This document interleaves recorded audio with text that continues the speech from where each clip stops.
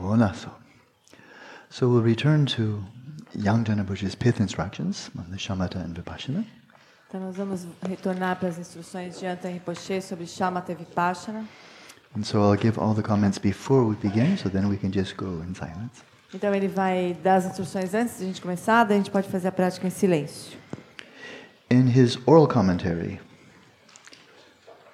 to the uh, section on shamatha, then Dujum Lingpa made this, this comment. Então, nos, na sessão sobre Shamatha, do John Limpa faz o seguinte comentário. This is following this practice, shamatha focus on the mind, and you're taking it all the way to achieve shamatha. There's no reason you'd stop halfway. Then nothing else, everything else will be half baked, you know, not really to its perfection. So you're going to take this practice to its culmination.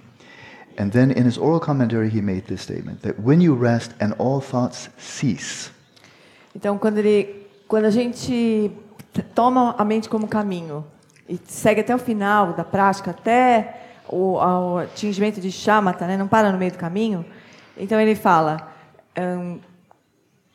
qu- quando todos os pensamentos cessam, So this is the point when you're very, very far along the path of shamatha, where all of the sense, sensory appearances are all vanish, no signal, because all of your six modes of consciousness are now have come back to the one, and within that one domain, you're so deeply settled that your snow globe has settled, and all those thoughts, not just thoughts, but all those activities of the mind, quiet. Então, quando você está bem avançado ali no caminho, é, quando todas as, as, as consciências sensoriais todas se se recolheram para dentro da consciência mental e mesmo as atividades da mente, os pensamentos também, não só os pensamentos, mas também as atividades todas mentais cessam, de, como se decantassem, né? como se fosse aquele globo de, de neve e aquela neve se decanta no fundo. Né? Então, todos os pensamentos cessam. So when you rest and all, he says in his commentary, when you rest and all thoughts cease, right after that, right after everything has gone totally silent, you feel kind of drowsy, or maybe the word's vague, vague. But you maintain it. You maintain that flow of awareness without falling asleep. No, but this is Yanta Rinpoche comments, right? Yeah, R- Yanta. You said do John Limpa. Oh, I'm sorry. Tanevich. Ele falou no início do John Limpa, comentário do John Limpa, mas não é, de Yanta Rinpoche sobre o sobre o texto raiz, né? Então, quando você repousa e todos os pensamentos cessam, em seguida você sente uma espécie de sonolência. Mas se você sustenta essa sonolência sem adormecer, então, So, among the four types of mindfulness, what type of mindfulness do you think this would be? Which one? então entre os quatro tipos de, de, mind, de atenção plena, que tipo que vocês acham que ele está se referindo agora?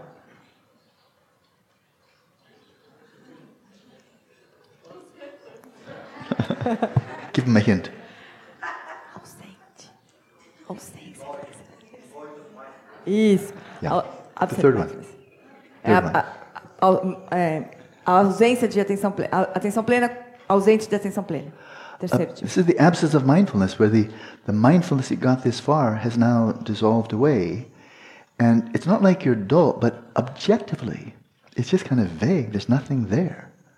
But don't fall asleep. Don't just, don't just dissolve into it. So this is the third mindfulness. Então, a atenção plena ela está ausente porque ela também se dissolveu. Mas daí a gente está ali com uma coisa que não, um espaço onde não tem nada dentro. Então, ele, ele diz para a gente não se ah, dissolver ali também, para continuar atento, né? não, não cair na sonolência também. And then after some time, again, the clarity or luminosity will arise like the dawn break. Então, depois de algum tempo, a clareza, a luminosidade, novamente surgirá como o alvorecer. So you know which mindfulness that is. Então, que, que atenção plena que é essa? Self-illuminating mindfulness. Yeah, exactly. Uma atenção plena auto-iluminadora. É o quarto tipo. And then he comments in his oral commentary, he says, if you can experience that, then you are quite close to ascertaining pristine awareness. Então, ele comenta, né, o Rinpoche comenta se você puder experienciar essa atenção plena auto-iluminadora, estará bem perto de determinar a lucidez prístina. in the Vajra essence, he said, now, of course, you're resting in the substrate consciousness. Now, he said, now you have identified the essential nature of the mind. Now, we know that's not emptiness or rikpa, that's perfectly clear. But the essential nature of the mind, relatively. You've now, okay, that's the mind. It's like looking at a chariot, that's a chariot.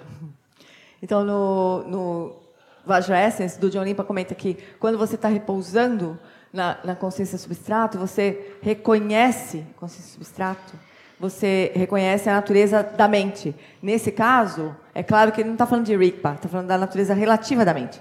Mas você reconhece. Do mesmo jeito que você está olhando para a carruagem, você fala assim, essa é a carruagem. Você reconhece. And this is not just his view, there's a great deal of consensus here. For example, the Lama from the 17th century, the, the guru of the fifth Dalai Lama, he describes the same method. And he says, now when you come to its culmination, this is now you have ascertained the conventional nature of the mind. Então aqui tem, uma, tem um consenso sobre isso. Panchen Lama também no século XVII, que era o tutor do 15º Dalai Lama, ele também fala que quando você chega, quando você atinge Shamatha, você reconhece a natureza essencial da mente, convencional da mente.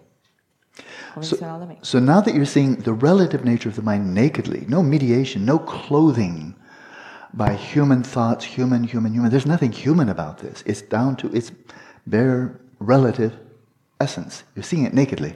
Então você está chegando na essência relativa da mente, nu- nua. Não tem mais nada, so- nada cobrindo a natureza da, da, da mente, natureza relativa da mente. Então você vê a natureza relativa, convencional da mente de uma forma nua.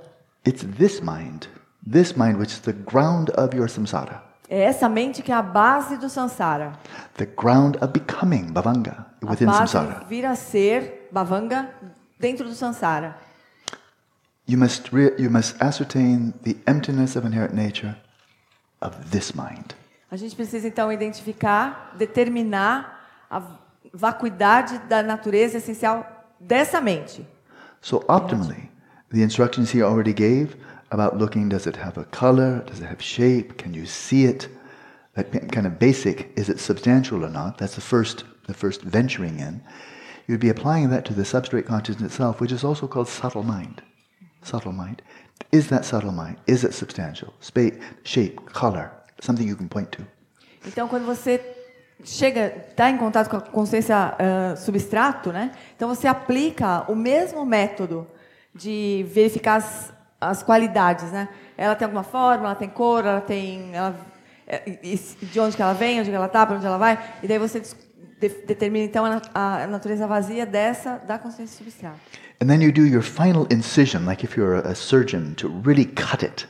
You're doing your final incision when you're looking nakedly at this mind, experiencing it nakedly.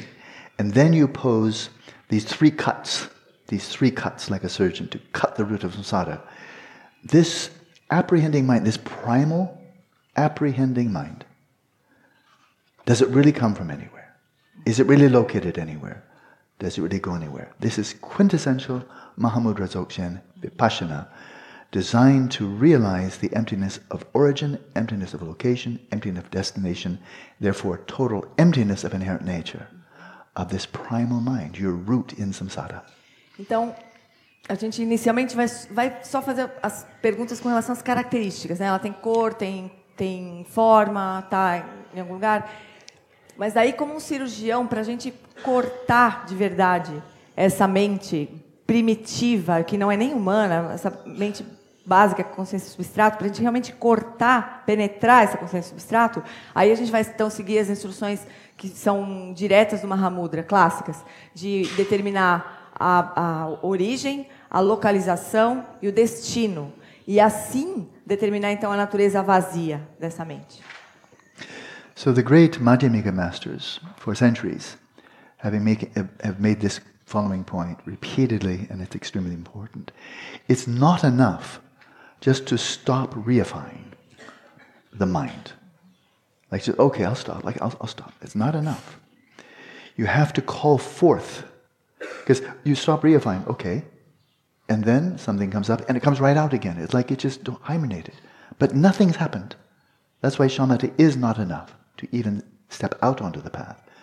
So it's not enough just to stop, but you may, must call it forth and call it forth with vipassana. That's where it's active. You call it forth, and as you call it forth, what you're examining is the apprehending mind, the apprehender. And does it really exist? Origin, location, destination. You call it forth, and then you see the unfindability of this mind in terms of origin, location, destination, and then you see empty of inherent nature. Então, os grandes mestres Madhyama, eles, eles dizem que não é suficiente a gente simplesmente parar de reificar. Como se a gente concordasse, ah, tá bom, tá bom, vou parar, não vou mais reificar. Isso não é suficiente, porque alguma coisa acontece, aquilo fora da gente acontece outra vez, a gente reifica outra vez, então não é suficiente. A gente então precisa trazer trazer esse, esse, esse que apreende, né?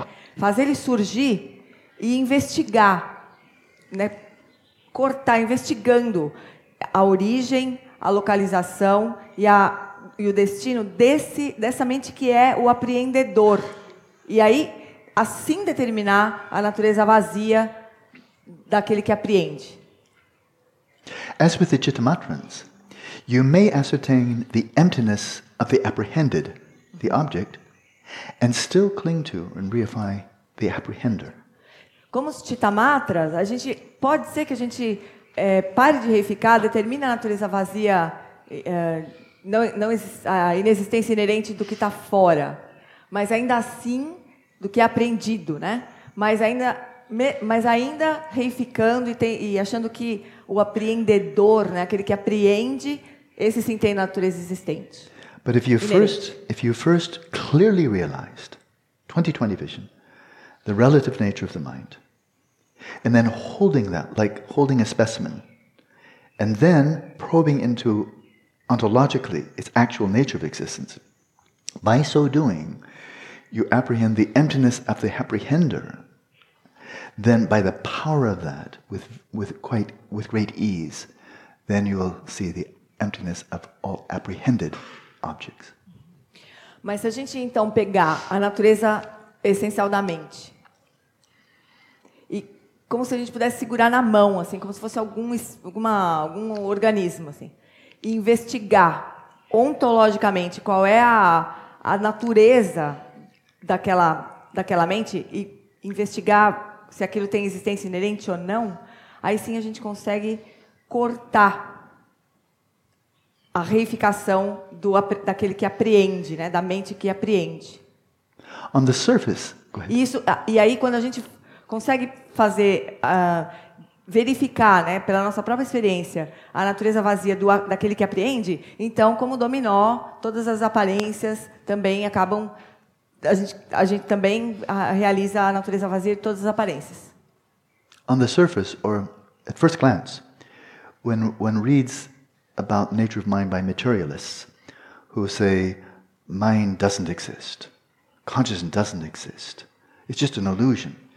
At first glance, it might like, oh, maybe they've realized emptiness of an, emptiness of inherent nature of mind, but they haven't. And the reason they haven't is they have utterly failed to realize the relative nature of the mind, because they're not even looking. They're looking at brain and behavior and then interviewing people. You'll never get it they can, if they follow this track, they can go for a thousand years, ten thousand years. They'll never get it because they're not looking at it. Então, à primeira vista, assim, quando a gente olha os relatos dos cientistas materialistas, eles falam, dizendo que a mente não existe, que a consciência não existe, a gente pode pensar, nossa, acho que eles eles realizaram a natureza vazia da mente, né, da consciência. Puxa, realizaram a vacuidade. E não, né? Porque eles simplesmente não realizaram nem a natureza da, relativa da mente. Eles nunca nem olharam para isso. Né? Para eles, a mente é uma ilusão, a consciência é uma ilusão, surge do cérebro. Nem olharam para isso. Eles vão passar anos e anos e anos e não vão chegar em nenhuma realização a respeito da natureza da mente, porque simplesmente eles não estão olhando para ela. So in the preceding section, we saw the dualistic mind, which first of all reifies subject, and then the reciprocal, reifies object and the bifurcation between the two. We've seen the dualistic mind characterized as the great demon or the great Mara. Então, na sessão anterior, a gente viu a descrição de, do John Limpa sobre a, a mente dualista, sendo a, a reificação de algo objetivamente lá fora, de algo subjetivamente aqui dentro, e da bifurcação disso, né? E essa mente dualista, então, foi chamada de demônio, né? Na sessão anterior a gente viu que é o demônio, a mente dualista. So, as we're following the Buddhist path, our task is to really slay the great demon. Slay? Slay, kill. Exactly. I mean, I'm not making this up, mm-hmm. not because not, not 'cause I'm American, but to slay the great demon, the great mada of dualistic grasping. That's what we're set out to do. And when we complete succeed in that, we are arhat, one who has conquered the enemy. Mm-hmm. This is the enemy. Então, quando a gente começa o caminho budista, a gente precisa começar a matar esse demônio, né?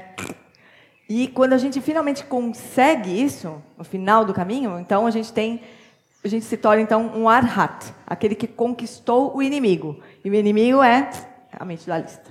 Now, this great demon, we'll play with that a little bit because that's the metaphor that we- saw. This great demon ha- is very tough. He has a very long lifespan. He's survived till now. All of our lives, all of our previous life, still here. Go ahead, try. Então esse demônio, ele é durão, porque ele vem, ó, sobrevivendo a muitas vidas e tá aqui ainda. Tava, vem, vem em mim, né? Tá fortão assim. Vem. And if we are not yet Aryas, then this demon is not yet slayed, and there's a good reason for that. Então se a gente ainda não é um área e esse demônio ainda não foi hum, exterminado, tem uma boa razão para isso. This great demon has wears five layers of armor. Esse demônio fortão tem cinco camadas de armadura. So we bring our, our little toothpick of Vipassana, and we go, and he just goes, Então a gente vem com essa espadinha do Vipassana e tenta dar uma furadinha nele. Assim, ui, ui, e ele. A gente. this is very close to what the Buddha actually said. Very close.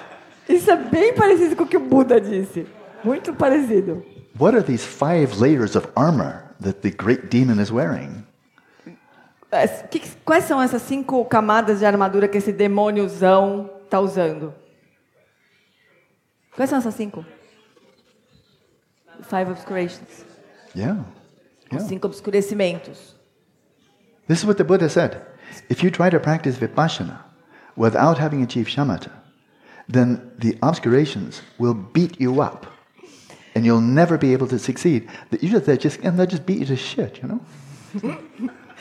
Então ele, ele foi isso que o Buda disse. Se você tentar praticar vipassana, né, para eliminar os cinco obscurecimentos, sem ter praticado shamatha, ele não, não vai funcionar. Ele vai massacrar a gente, vai acabar com a gente. But you achieve shamatha, you've re- removed all the five layers of armor. Mas você praticar sha- atingir shamatha, você tira da frente todas as cinco camadas da, da armadura. Then you come in with the sword of wisdom of Manjushri, Aí você vem com a, com a espada de sabedoria de Manjushri, and the great demon is naked. e aí o demônio está pelado.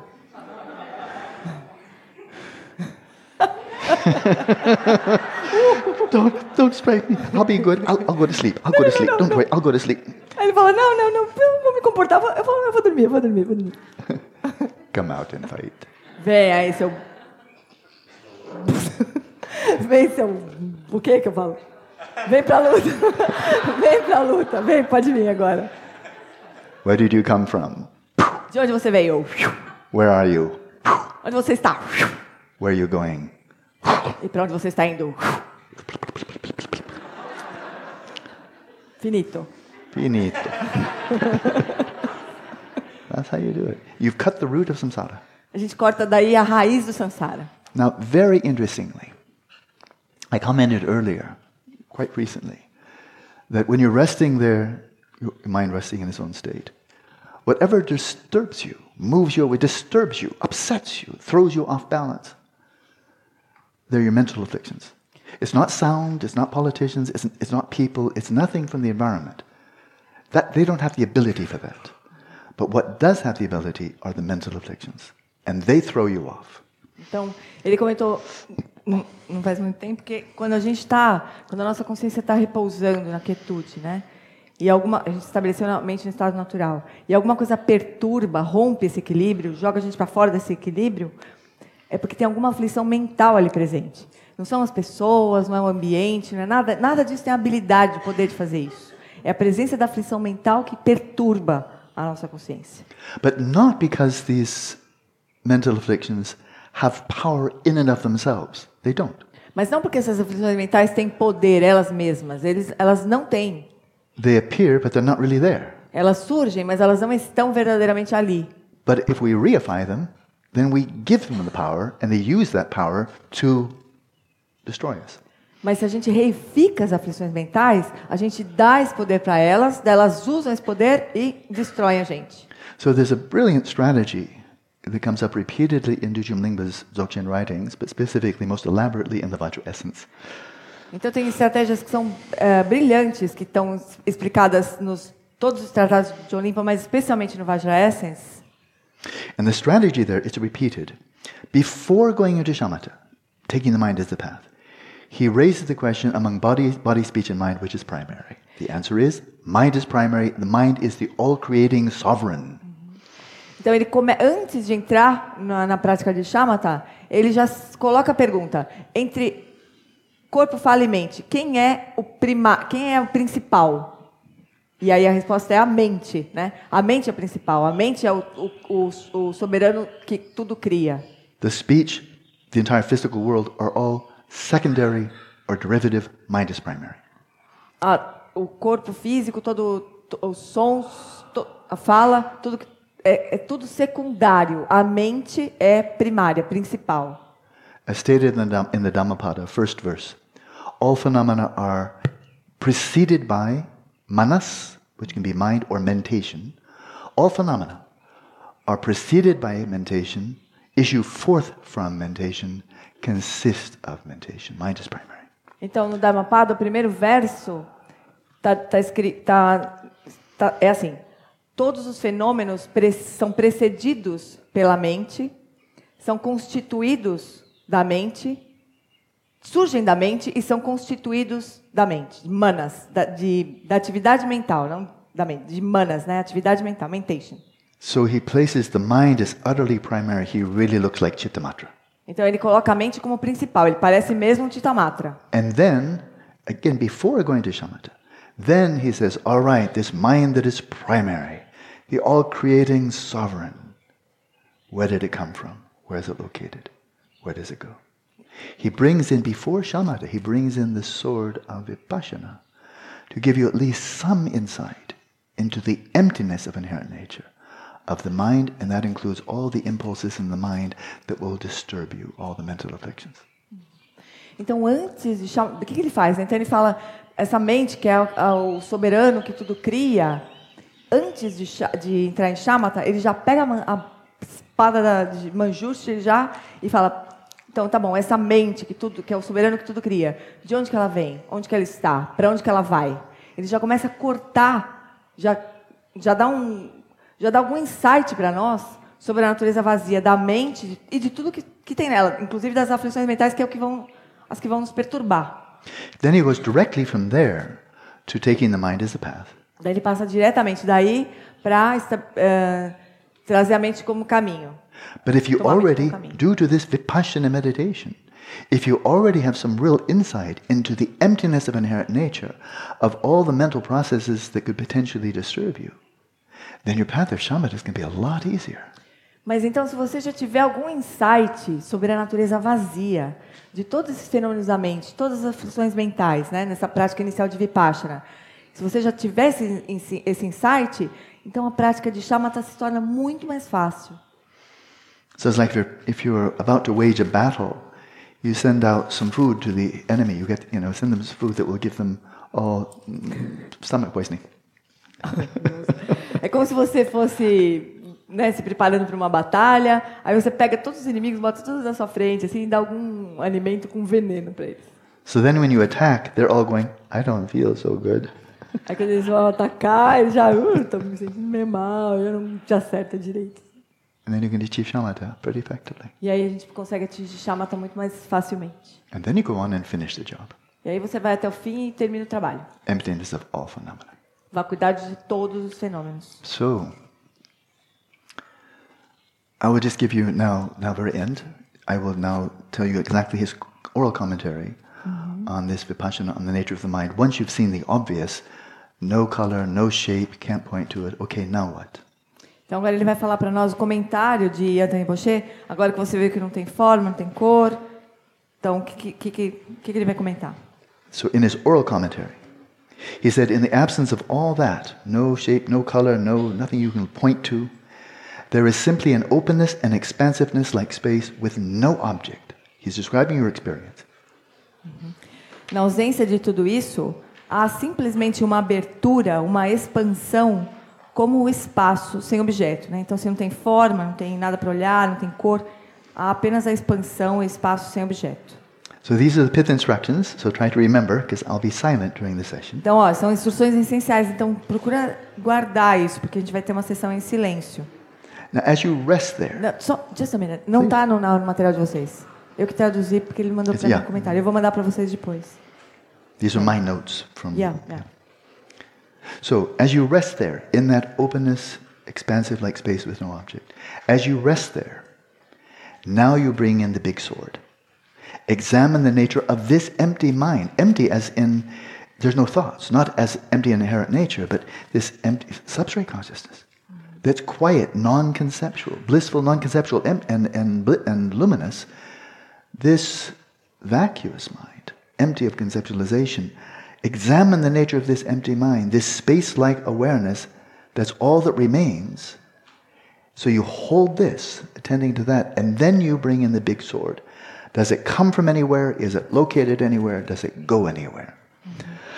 Então, você repousa nessa abertura, nessa expansão que é como um espaço sem objeto. Enquanto você repousa aí, você então traz a espada da sabedoria. Examina a natureza dessa mente vazia, mas vazia de objetos. Não, não é a vacuidade última. É, ela é simplesmente um vácuo, porque não, ela é simplesmente ah, bem-aventurada, luminosa e, não conceitual, né? Então, examina a natureza vazia de conceitos essa consciência semelhante ao espaço, que é tudo que resta. E aí você examina, ela vem de algum lugar, está localizada em algum lugar, ela vai para algum lugar. And then he adds for each of these points, its origins, location, and destination, there's nothing you can say or point to. Each one is totally unfindable.